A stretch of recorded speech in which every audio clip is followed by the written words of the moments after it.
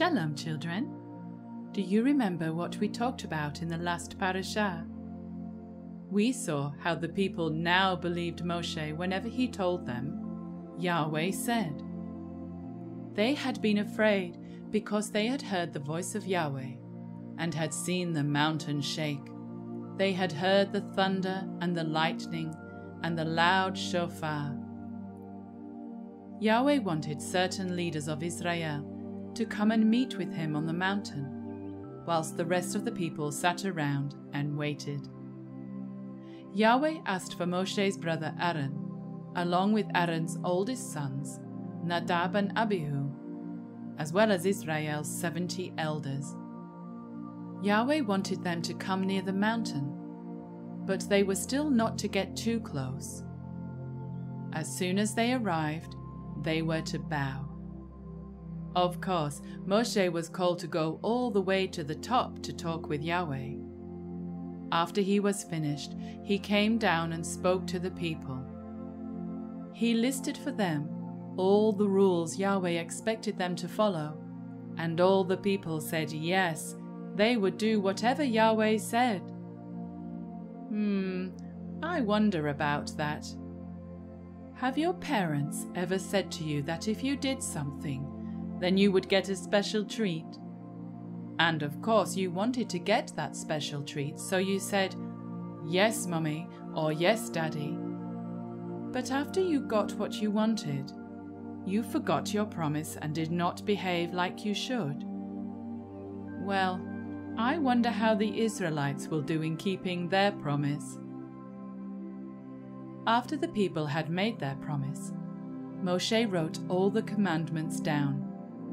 Then he got up early the next morning and started gathering stones to build an altar for Yahweh. That reminds me of his great great great great great great great grandpa. Do you remember Jacob? He built an altar to Yahweh as well. Not only did Moshe build an altar, he also placed 12 standing columns there to represent the tribes of Israel. Do you remember when Jacob's name was changed to Israel? When Jacob left home, he put up a standing column to remember the place where Yahweh first spoke to him. I bet he never would have thought that hundreds of years later there would be standing columns to represent each of his sons. Amazing. Moshe then sent some young men to get the animals that they were commanded to present as sacrifices for offerings and peace offerings. We will learn all about these offerings another time. For now, we will just see what Moshe did once the animals were slaughtered. He took half the blood and filled a bowl with it, then took the other half and sprinkled it onto the altar. Then he took the book of the covenant and read it to the people. Afterwards, the people agreed to do all that Yahweh had told them to do.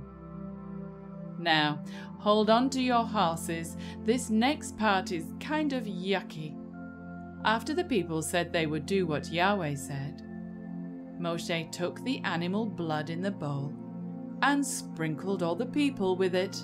Ugh. But back in those days, all covenants were sealed with blood. So the people would have expected that when they said, Yes, we will obey, that they were making a covenant and blood would be involved. After that, Moshe, Aaron, Nadab, and Abihu, along with the seventy elders, went up to the mountain. Do you know what they saw?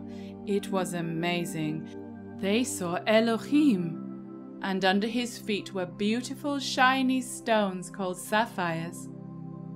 They may have been like the blue gems we have today. Not only did they get to be amazed by that beautiful sight, they also got to sit down and eat. As long as they didn't try to get too close a look or climb the rest of the mountain, they were safe. Moshe left Aaron in charge whilst he went up to meet Yahweh. Moshe began climbing, and went up the mountain right under the cloud that covered the top. The mountain was a beautiful sight to see, with all the gold and the gems. It was so bright that it looked like someone had made a huge campfire. This time, when Moshe went up to talk with Yahweh, they must have had a lot to talk about, because it was 40 days before Moshe was finally able to come back down from the mountain. Well, children, this brings us to the end of our story for today. So we will see you next time for another exciting Torah portion. Shalom.